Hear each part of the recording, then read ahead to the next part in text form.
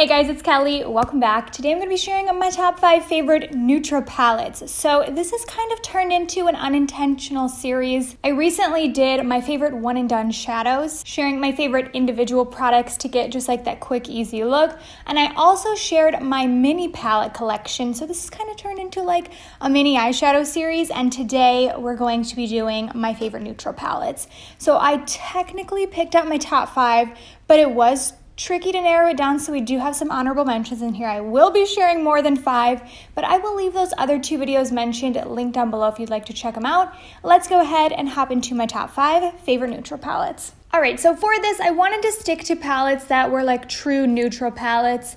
I didn't really want to include palettes that had like a lot of pops of color. I really wanted all of the palettes that I recommend in today's video to be perfect for a neutral lover who only wears neutrals or who wears neutrals most of the time, where you feel like you can probably use every single shade or at least almost every single shade in the palette. So let's start off with my number one recommendation. If you love neutrals, this has quickly become my go-to neutral palette. This is from Persona Cosmetics, and this is the original Identity palette. So it was repackaged this year, so if you buy it now, it will come in this heavy plastic packaging.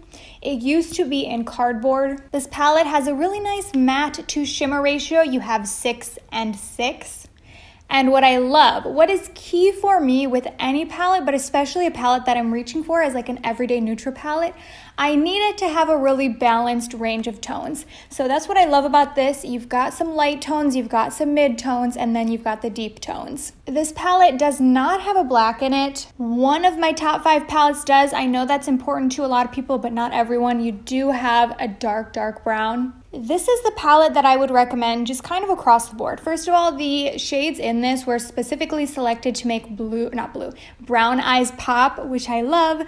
I think that all of these colors are very flattering to brown eyes, but I would say that they would work really well with any eye color. Also, the shimmer formula in this palette is a lot smoother than most shimmers. They're I don't want to say thin, but they're not chunky and they're very finely milled. So, because of that, I would say, especially if you have more mature eyelids and you find that a lot of shimmer shades just don't sit well on them, these are really smooth and I think they would look good on anyone. This next one is the newest palette to me, and I think it's actually the newest launch as well. And it's also what I have on my eyes today. I did a really simple eyeshadow look today, but I did use it, use it, I did create it using this palette.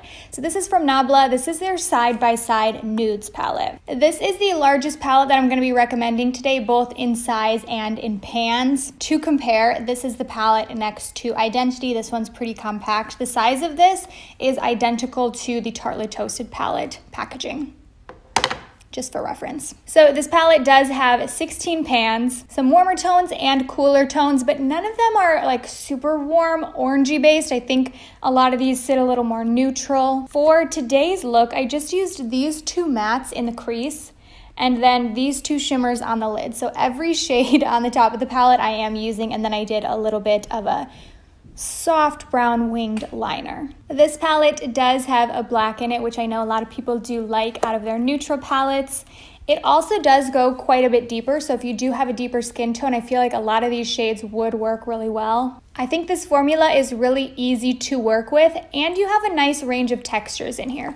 Whereas with this and most of the other ones that I'm going to mention in today's video, the shades are kind of all the same formula, like the mattes are all the same and then the shimmers are all the same. But in this, you have a range of textures. So this and this, those are a little bit more of your chunky glitters, almost like a pressed glitter, but not quite.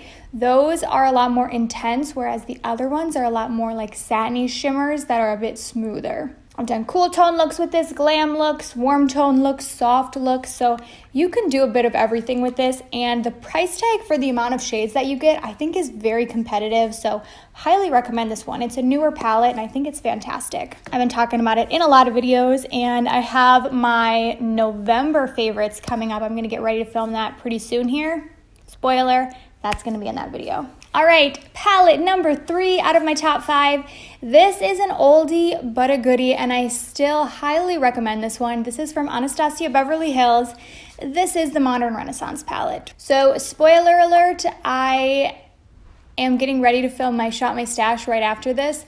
and this is gonna be going into my next rotation. I mean, you can see I've hit really significant pan on this shade up here. Also pretty close to hitting pan on a few of the other mattes. This formula, a lot like the Persona formula, I think is extremely beginner friendly because the shadows are so easy to work with. These are some of the most blendable matte shades out there. My only downside to this is that it only has two shimmers to it, so it's not super balanced between mattes and shimmers, but that could be a good or bad thing depending on your preference. This shade is kind of like a satiny matte shimmer hybrid. This is one of my favorite neutral palettes for everyday looks. I have also done pretty glam looks with this, but I feel like for the most part, I'm reaching into it for something easy that I don't have to think about, that I know is gonna turn out perfect all the time. Like it's just really easy to work with. That leads us into our first honorable mention. I didn't want to officially include this in the top five because it was limited edition and I wasn't going to include it in the video until recently when I learned that this is available again for a limited time. So I did want to give it a shout out. The Sultry palette.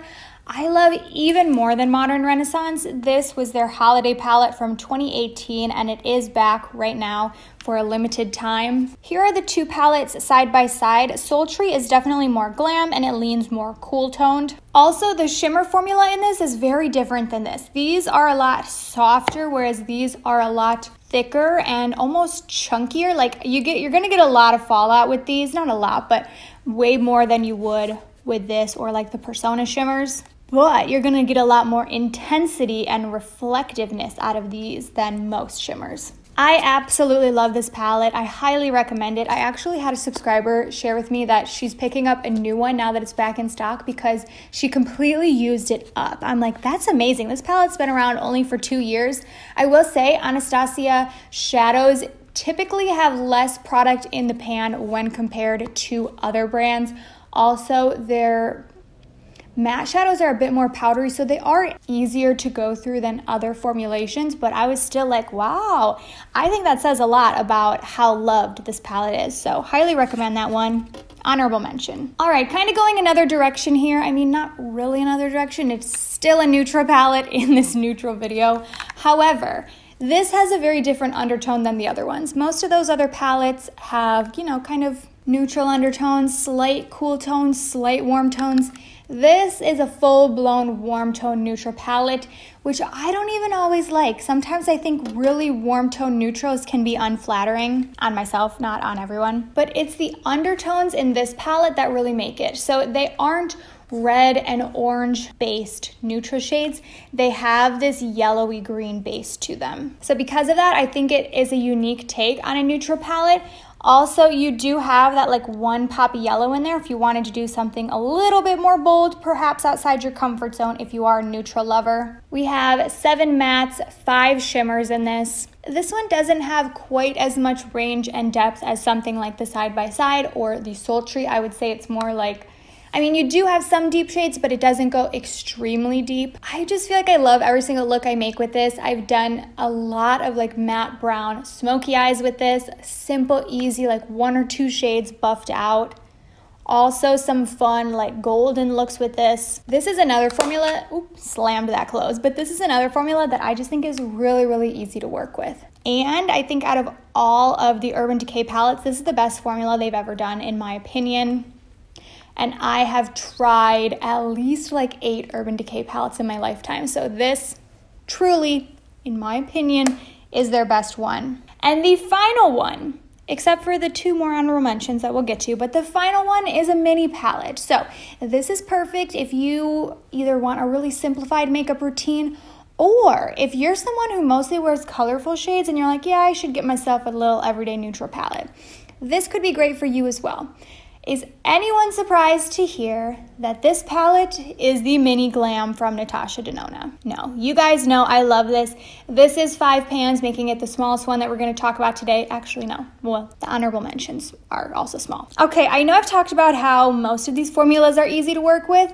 This is the easiest to work with. Like, okay, this dark brown shade. I don't always use a lot of deep shades like that. I mean, I do kind of like do the outer corner, but I don't use those a lot because I find them really difficult for me to work with. But this one is the easiest dark brown I've ever found to blend out. I always tell the story about the first time that I tried this palette.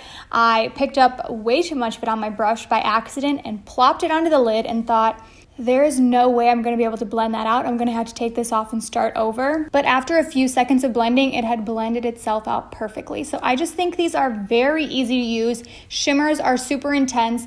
And the fact that it's so mini makes it really easy to think about in the morning. Like the shades have already been curated for you. You don't have to sit there and kind of brainstorm what to use. Like if you look at this big 16 pan palette and think, okay, that's kind of overwhelming. I don't even know what direction to go. I would recommend something more like this. It's it's kind of already been curated for you. All five of these shades look perfect together, or you can just use one or two. Love it, love how compact it is.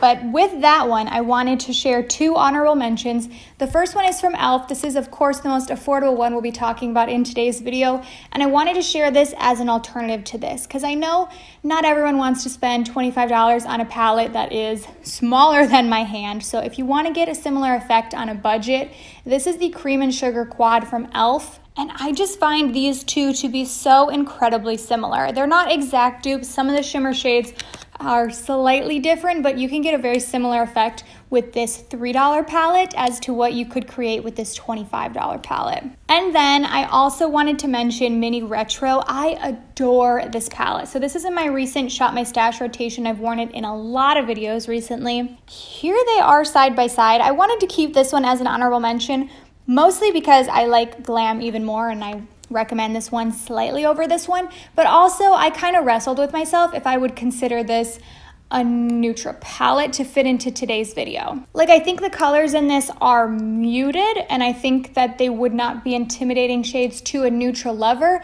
but I mean this is a palette of greens and pinks. I don't know that it's really neutral. Which, for so long, I really thought these were gray and we've had this discussion on my channel a lot and it seems like the consensus is that they're greens, but they're super muted, like grayish greens. So I love this. Another really great formula. I do think this one maybe is harder to use than this one, and I don't mean formula wise. I mean color pairing wise. I think this is like if you're new to makeup and you don't know what shades to combine, this is pretty basic and easy. But sometimes with this one, it's like, okay, wait, how do I wear these pinks and grays together? So I did want to mention that. I mean, I still think it's beautiful. I don't think I've ever done a look with this that I didn't like, but sometimes I feel like I have to think about it a little bit more than with this one. Those were my top five favorite Nutra palettes, plus some honorable mentions that I had to sneak in there. I hope you guys enjoyed today's video. I would love to hear from you down below. What is your number one favorite go-to Nutra palette? Thank you guys so much for watching, and I will go ahead and see you in my next one. Bye!